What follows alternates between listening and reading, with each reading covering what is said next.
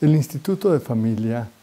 que como digo es un instituto eh, que tiene como objetivo la investigación de la familia, pero con miras a ayudar a la familia, no simplemente a tener datos sobre la familia, pues eh, quiere también promover eh, un diplomado sobre la familia, es decir, capacitar personas para que puedan dar respuesta a, las situaciones propias de la familia, para que puedan dar una mano en las situaciones eh,